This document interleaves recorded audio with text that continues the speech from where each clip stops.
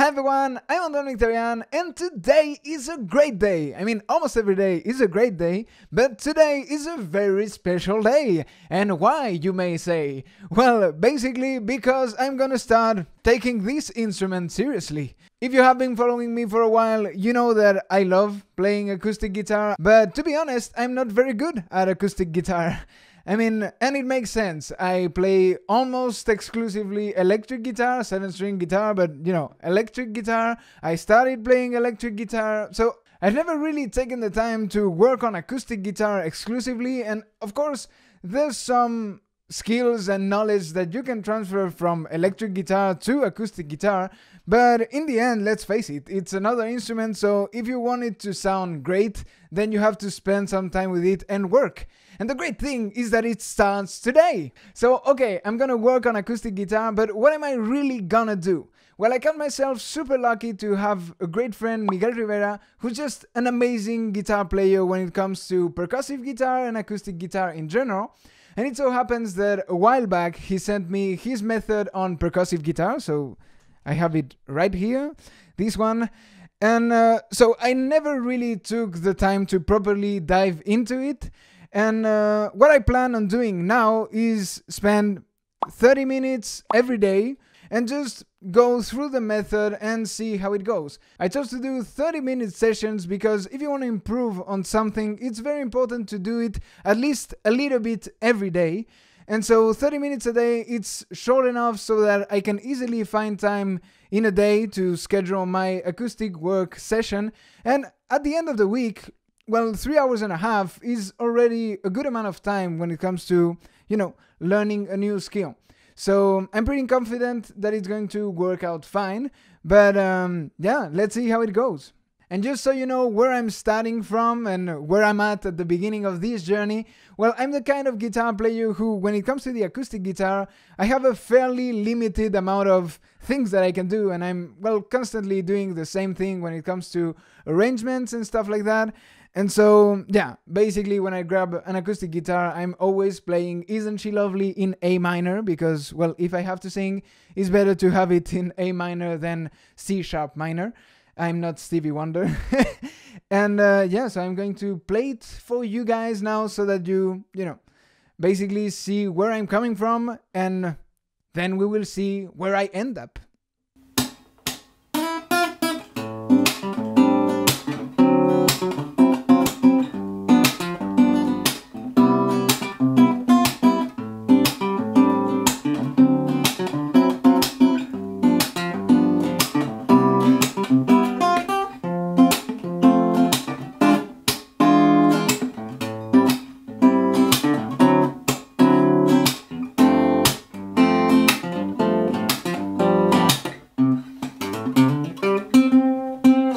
Alright, so today is January 17th, 2021. Yesterday I recorded the beginning of the video. And so usually because it takes the brain around, well, it's, you know, very approximative and uh, it depends on everybody, but it takes between 20 and 60 days to properly create a habit. Um, I have to be pretty focused in these first uh, days and weeks. Um, but so, yeah, today I'm starting with the 30 minute sessions and uh, I'm starting at the beginning of the method.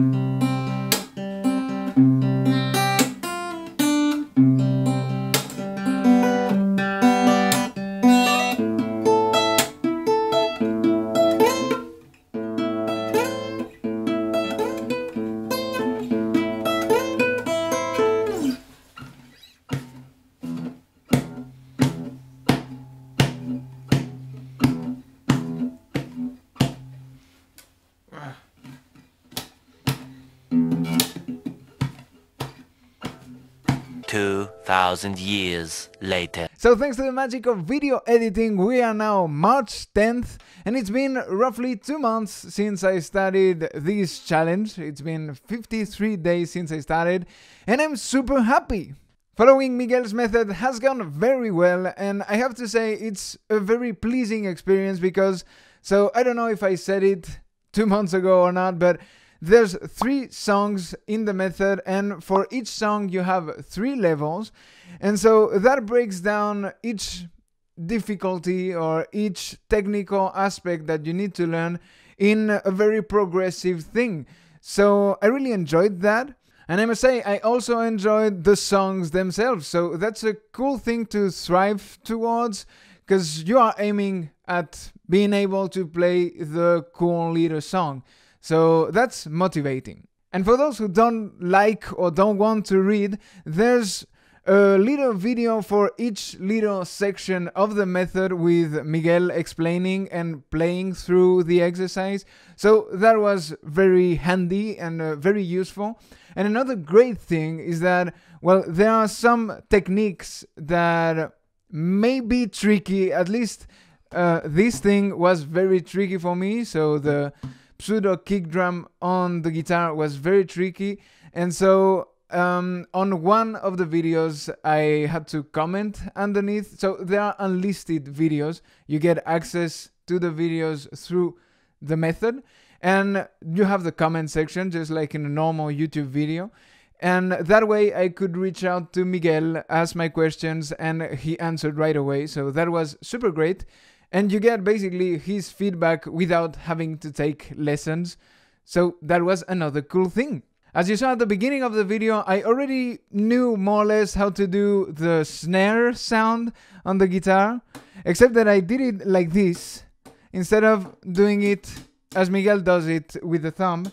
And so I adopted Miguel's technique, first of all, because I was following his method, and also because it made sense, because um, the way I did it, uh, I was constantly muting the strings. Whereas with the thumb, you can let the higher strings ring if you so desire. So that was a little adjustment that you do in the first song. And because I already knew how to do it a little bit, the first song was sort of easy to do. I think in uh, one week or so, I got it down. But then the trickiest thing was to learn this motion, so the kick drum, and you learn it right away on the second song, which is based basically around that technique. And that happened to be the most challenging thing. And so I went from spending a little bit more than a week on the first song to uh, maybe three weeks on just, you know, exercises for this sound. Um, so that was tricky, and of course, the third song is putting everything together and uh, all the techniques. Yeah, the third one was tricky also, but basically, I got a rough idea of everything in a little bit more than a month, and uh, then I just took a little bit more time just to make sure that I have them, you know, I'm comfortable with the songs and uh, I can play them for you guys. And so without further ado, I'm going to play the three songs for you guys.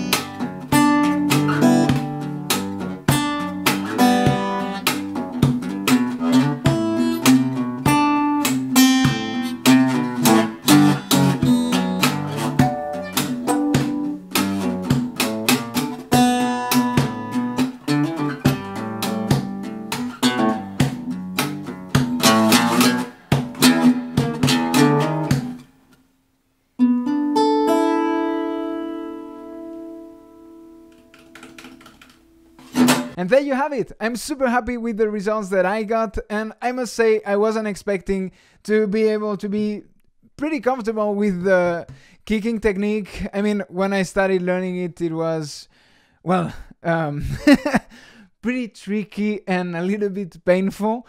Um, and now, yeah, I'm slowly applying it to stuff that I played before these two months of uh, learning. So, you know, my usual chord progressions where I first only use the snare.